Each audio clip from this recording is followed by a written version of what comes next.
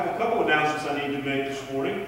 Uh, First, if uh, you are an elder or a deacon and your term ended and- and you are inactive at, at this point because uh, your term just ended, we'd like to have your keys back so that we can give keys to our uh, new elders and deacons. So please turn them in to me.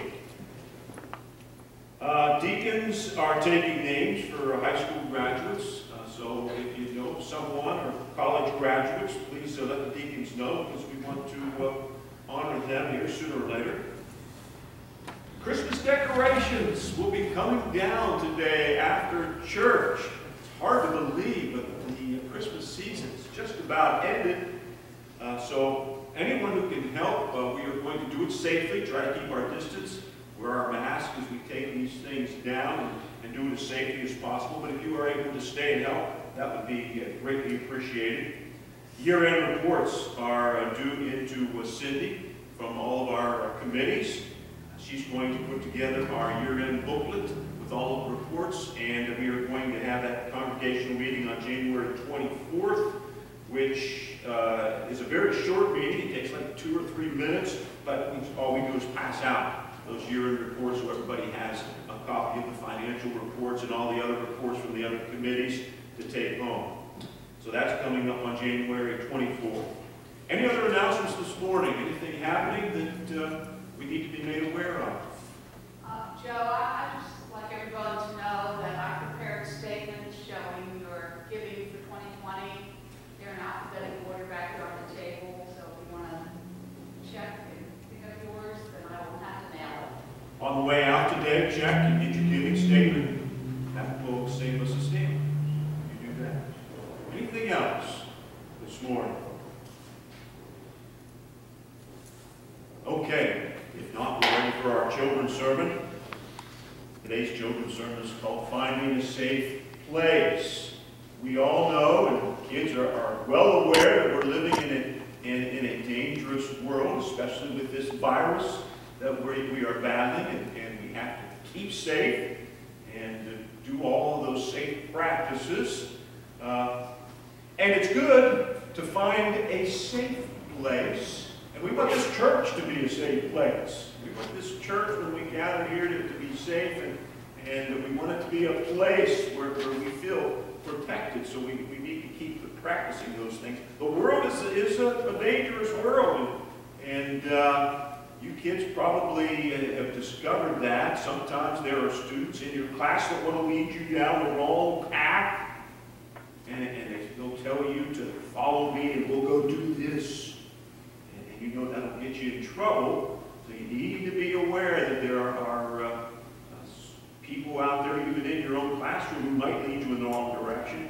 In the adult world, boy, there's lots of people who uh, make bad decisions and go in the wrong direction and get themselves in, in, in trouble. So it's dangerous out there in the dark, uh, in the adult world. So you, you need to be careful that you have a safe place to go. And like I said, I, I'd like to see that, uh, I'd like to say that this church is, is a good, safe place to grow and to learn. There was a boy and his father, they went camping. And boy, they were having fun. They set up their camp by, by a stream. They went fishing. They set up their tent. And they uh, made a nice campfire. And they were uh, roasting marshmallows. When all at once, the father got a notice on his cell phone that a big thunderstorm had just formed. And it was coming their way. It was a dangerous thunderstorm. And so the father said to his son, Oh my, we need to put out the fire. We need to take down our tent. We need to uh, get everything together, take everything back up uh, the bank up to where the car, the truck is parked, and put everything back in the truck. The boy said, "Oh, Dad, we worked so hard putting up the tent. We're having so much fun. Can't we just stay in the tent when the storm comes and, and we won't get wet in the tent?" The father said, "No, son. We, we need to get going. We need to get going now." So that's what they did. They took the tent down and put out the fire. They gathered up all their belongings, and as they were carrying everything up the bank to where the truck was, the rain started to fall. They got inside the, the truck, and boy, did the rain come down. It poured and poured and poured, and the boy looked out the window, and he noticed the stream rising and getting higher and higher and rougher and rougher, and it came almost all the way up to where the truck was. And suddenly the boy realized, boy, if we would have stayed down there in the tent, we would have been washed away. So that truck was a very, very safe place, and his father was very wise and understood that. You know, the Bible teaches us that safe places are important. The reason the church is a safe place is, because it is where people love God and, and love each other and look out for each other. And that's important.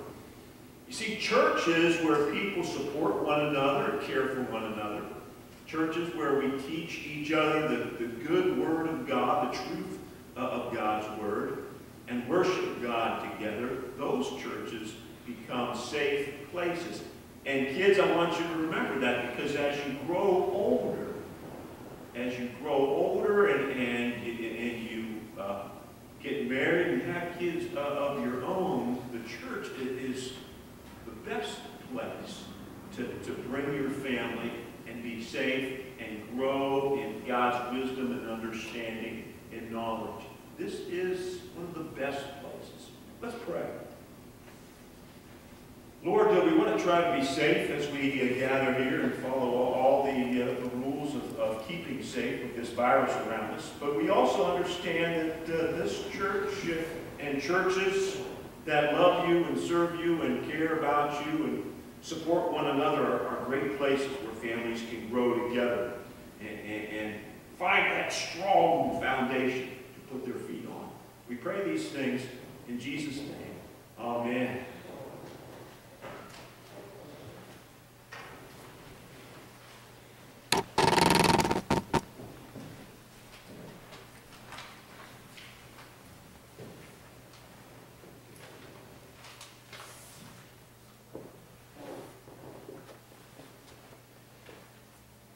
Uh, Knowing that we are flawed human beings living in a fallen world, we come humbly before our holy God. It is by God's grace through the Son that we can be restored and renewed. Please join me in the prayer of confession. O O God, so so often when life has been hard and situations have seemed impossible, we have turned away from the hope you would give us and chosen instead despair and sorrow. Too often, Lord, if things were unlikely by the world's standards, we would not believe. Forgive us, Lord, and help us to always lean on your wisdom and strength as our hope. Amen. In these moments of silence, please take time for your personal prayer of confession.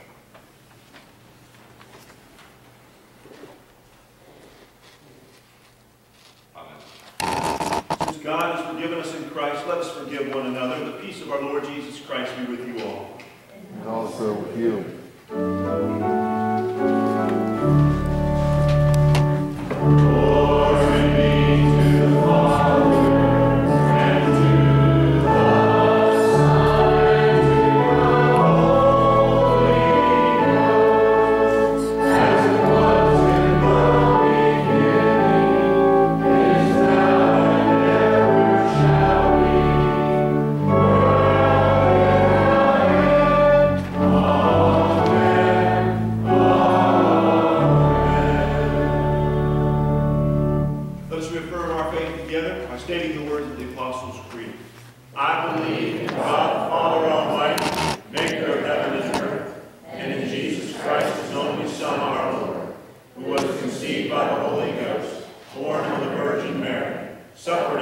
Pontius Pilate, was crucified, dead, and buried. He descended into hell. The third day he rose again from the dead. He ascended into heaven, and sitteth on the right hand of God the Father Almighty. From thence he shall come to judge the quick and the dead. I believe in the Holy Ghost, the holy Catholic Church, the communion of saints, the forgiveness of sins, the resurrection of the body, and the life everlasting. Amen. You may be seated.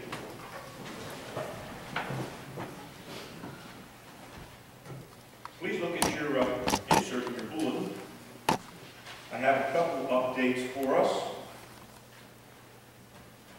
to Alberta this morning, and uh, Roy is still in the hospital.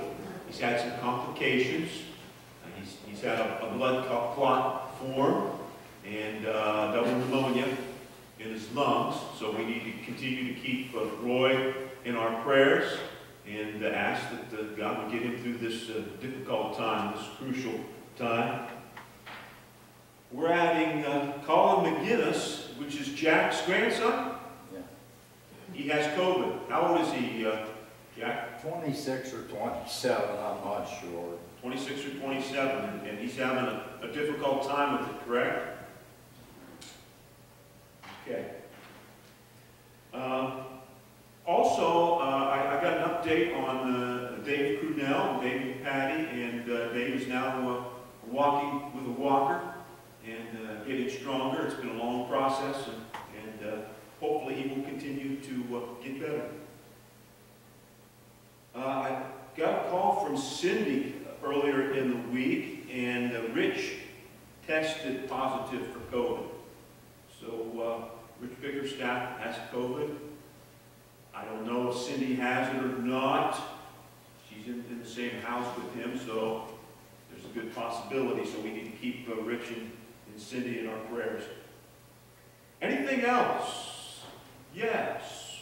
It's with my deepest sadness that I have to report that Josephine Probst, Jim Probst's wife passed away yesterday afternoon at three o'clock from COVID. I'd like to pray for Jim and his family. Bill, Bill uh, has shared that, uh, that the Probst family needs our prayers of comfort. Jack told me that uh, there, were- there were like 35 deaths this week. Did you say that, Jack? Thirty-one just at Wilson. 31's just at Wilson's. So it's been a very sad time for many families. Anything else? Cheryl? Yeah, I, I was running into Franny Schneck, and he told me that, um, Randy Walker and Peggy Wood have COVID. Oh, boy. Uh, he's having a lot of complications. He must have a lot of health issues, Mhm. and I think he might be hospitalized. She's not, but What's, Pe- what's his wife's name? Peggy, Peggy.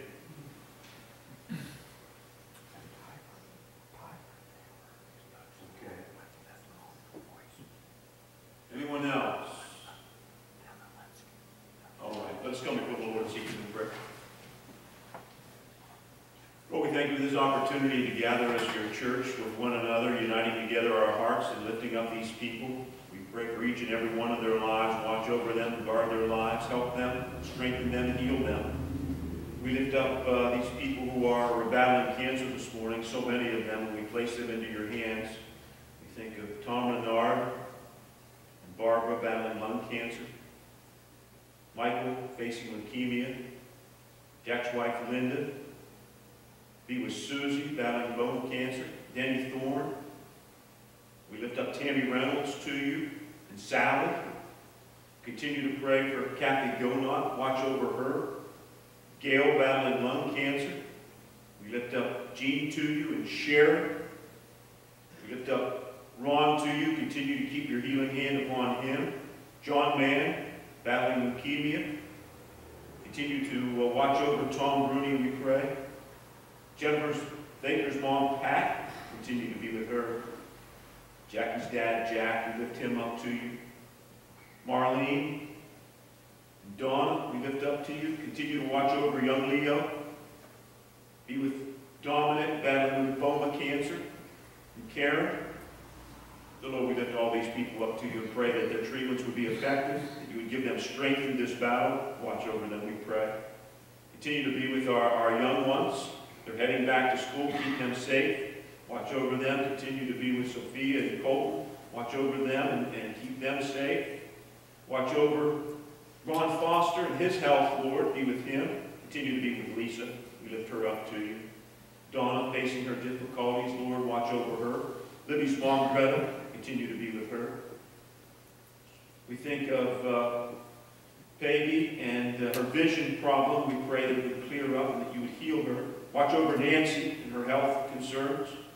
Young Luca in need of this heart surgery, lift him up to you.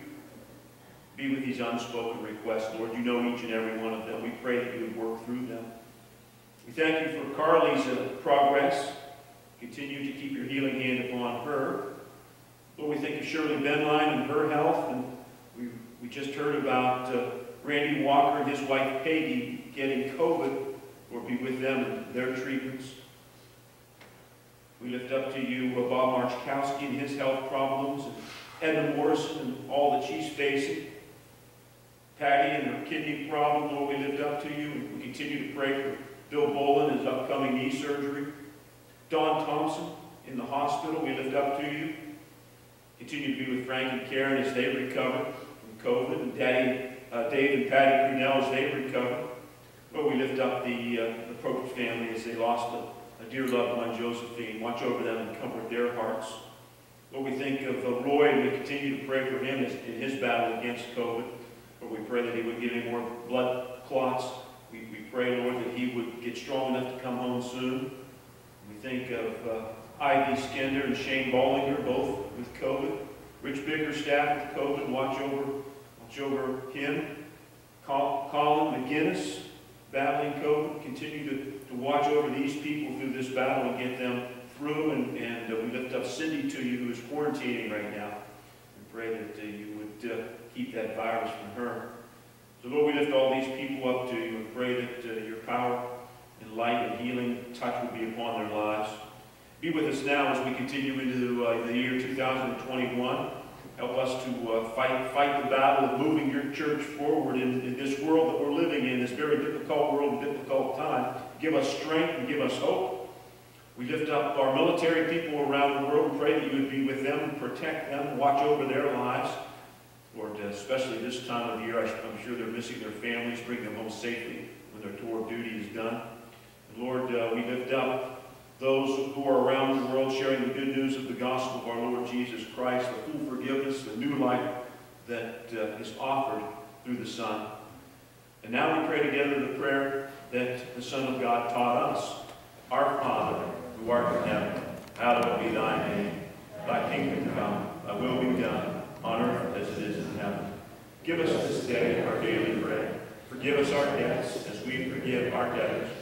And lead us not into temptation, but deliver us from evil. For thine is the kingdom, and the power, and the glory forever. Amen. This time we're going to put our church address up there for those who are watching online then play the offertory.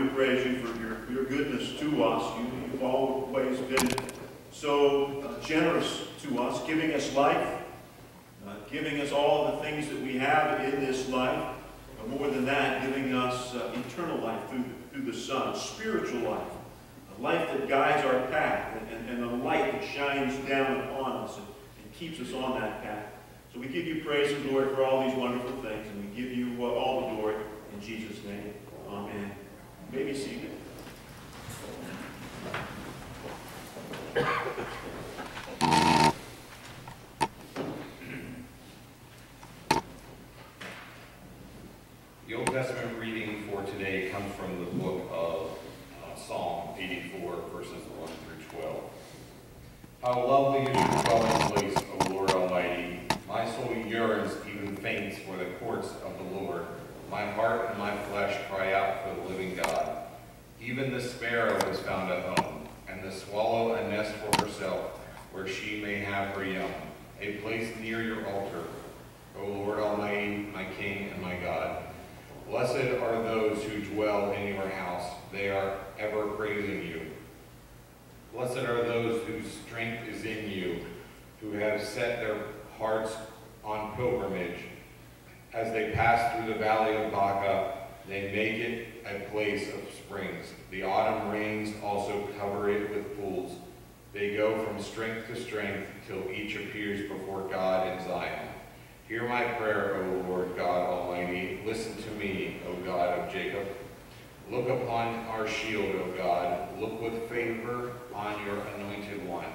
Better is one day in your courts than a, a thousand elsewhere. I would rather be a doorkeeper in the house of my God than dwell in the tents of the wicked.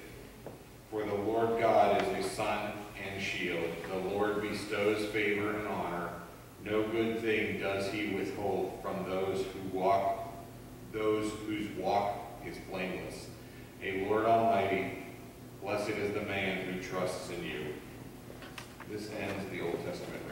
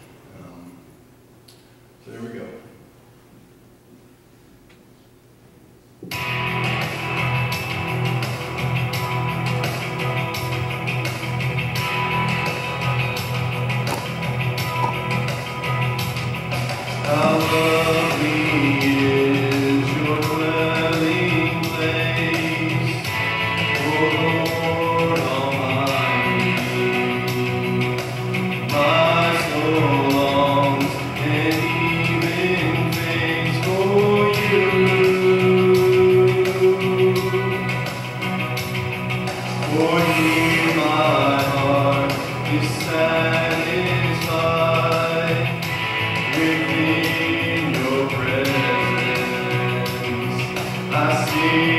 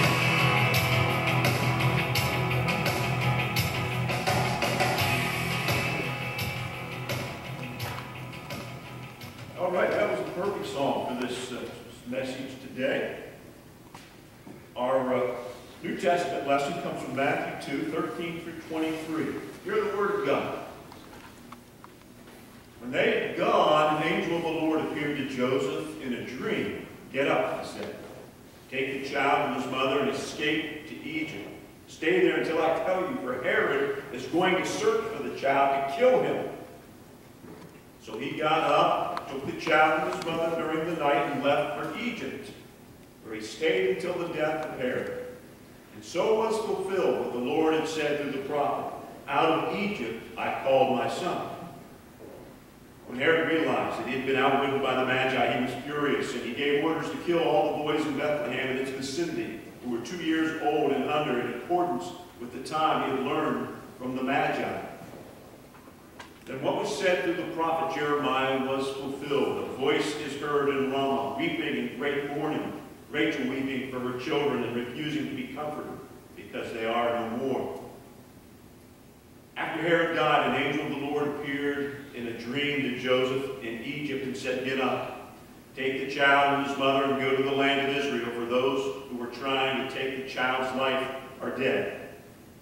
So he got up and he took the child and his mother and he went to the land of Israel. But when he heard that Archelaus was reigning in Ju Judea in place of his father Herod, he was afraid to go there. Having been warned in a dream, he withdrew to the district of Galilee. He went and lived in a town called Nazareth. So was fulfilled what was said through the prophets, that he would be called a Nazarene. May the Lord add his blessing to the reading of the Holy Word. Let us pray. Lord, we thank you for your word, and we pray that your Spirit would to bring the truth and the power and, and the light and life of your word to us today. Teach us through your word. Help us to understand these truths you want us to know, these principles that you want us to embrace and apply to our lives. Illuminate our lives, we pray. May your Spirit be our teacher. We pray these things in Jesus' name. Amen. Well, the door to 2021 has opened and we have entered and stepped through. We've gathered for the first Sunday in 2021 to worship the Lord together in this new year. It's good to be in church. If you want to start off the year on the right foot, this is the place to be. And I believe it is for several reasons.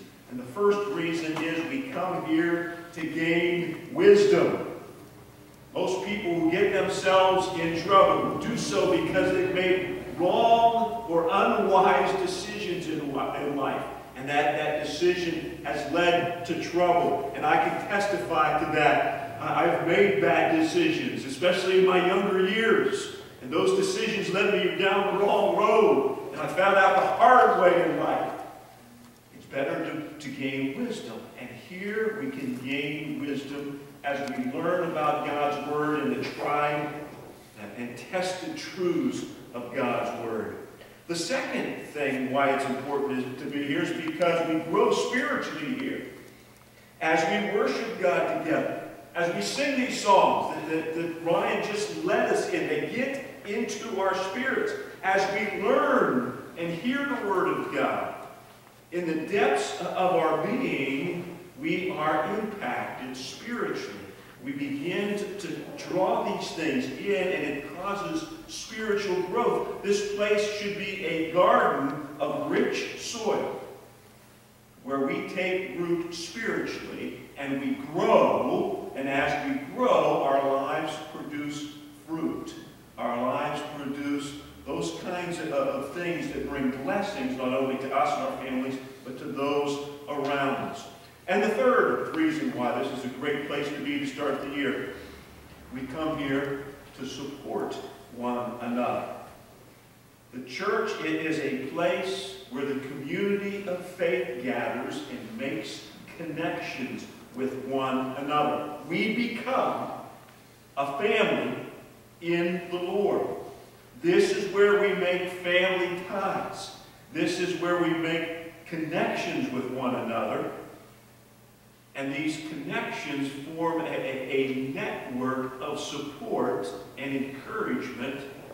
We have each other's backs as we go through the difficult times in life. Now, it's a big family.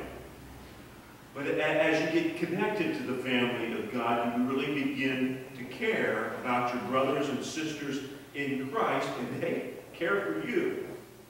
You could say that we open the door for one another here, and we open the door for those who are outside the church, who are looking to connect into a spiritual family. See, many people outside the church do not realize that the wisdom you can gain here, the spiritual growth you can go through here, the connections that you can make here at, at a good church can make a big difference in your life and the decisions you make and how that impacts your future and your family's future. So we want to keep that door open and say, welcome, connect with us. Let's grow together. The writer of Psalm 84 knew how important it was to be rooted in that local community of faith. Let's listen to what he said again. Psalm 84, 1 and 2. How lovely is your dwelling place, Lord Almighty. My soul yearns, even faints, for the courts of the Lord. My heart, my flesh cry out for the living God. So no doubt about it, this psalmist understood the importance uh, of that community of faith and being in the Lord's presence and worshiping the Lord and the connections that were made there. He clearly understood the difference between someone who neglected God and, and a relationship with God and someone who valued that relationship and were committed to that relationship, heart, body, mind, and soul. And he did not want to miss out on what God had in store for him. He didn't want his family to miss out on what God had in store for his family. Now, during the days of Moses, as the Israelites wandered through the wilderness, the sons of Korah were assigned the responsibility of being the doorkeepers of the tabernacle. And this was a generational commitment, assignment. The sons of Korah and their grandsons and their great-grandsons and so on and so forth were given that assignment of doorkeepers. So when the temple was built in Jerusalem, the sons of uh, continued with that responsibility. Listen to, to what the psalmist says about being a doorkeeper in God's house. Psalm 84:10. Better is one day in your courts than a thousand elsewhere. I would rather be a doorkeeper in the house of my God than dwell in the tents of the wicked.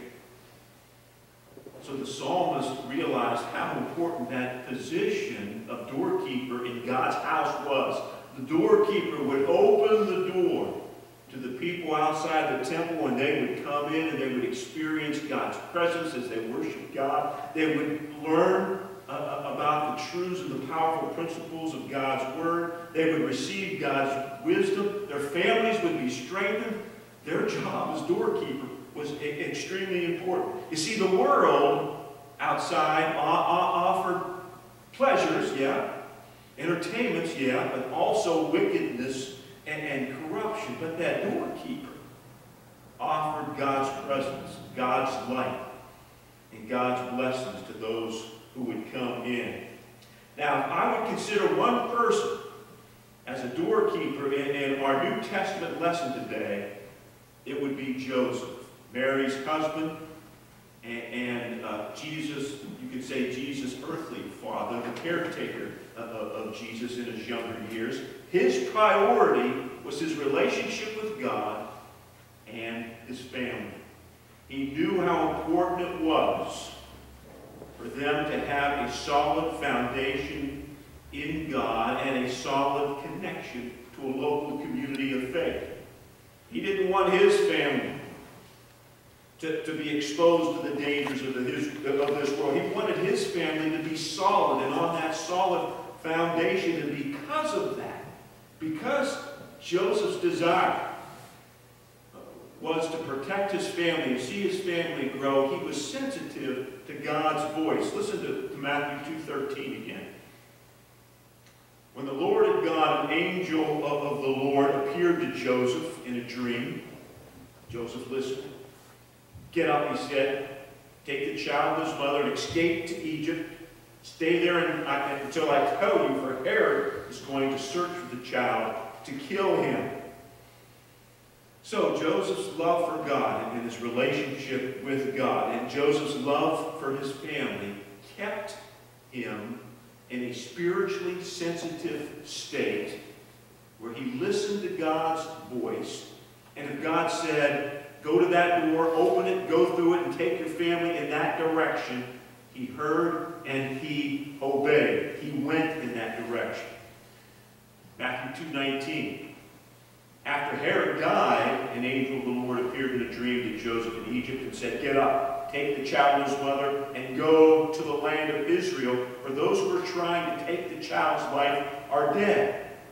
And, and notice that jo Joseph didn't get overwhelmed by everything that was happening. His life wasn't stable at this point. They, they were uh, in a, an unsettled time of life. But he didn't let that overwhelm him. He listened to God and, and he opened the next door. And he went through that next door. And by faith, he led his family through that, that next door. And, and although the times and, and the circumstances were shifting and changing, he kept his ear focused on the Lord. Finally, God led him to a place where they could plant their spiritual roots. Finally, God led them to a place where they could join a community of believers and grow together in, in that wisdom that I've been talking about and in all the blessings of this larger church family. Matthew 2.23. And he went and he lived in a town called Nazareth. So was fulfilled what was said through the prophet that he would be called a Nazarene. So Joseph was a door opener. Wherever God told him to go, he would open that door and, and he would lead his family through it because he wanted his family to be blessed and protected by the Lord. But not only that, through obeying the Lord, he was a prophecy fulfiller because the prophets of the Old Testament said that the Messiah was going to be a Nazarene. And that is where Joseph settled his family eventually, there in Nazareth. And Jesus grew up to become a, a Nazarene. So like uh, the psalmist, let's realize the importance of our connection to a family of faith, to our brothers and sisters in the Lord. Let's be openers. When we are, we open doors to a place of wisdom. We open doors to a place where the spiritual truths are taught, and we can grasp them, and we can apply them. And the Spirit who teaches us can empower us to take those truths. Let's open these doors for our families. Let's make sure our families are on that solid foundation of faith in God and connection to one another, brothers and sisters in Christ. And then, let's keep those doors open to the community because there are people out there who want to establish their feet solidly on that firm foundation. People who want to grow in their wisdom and their knowledge, and people who want to receive the blessings God has in store for them. In 2021, let's be door openers. Amen. Let's turn to our final hymn, hymn number 166, We Three Kings.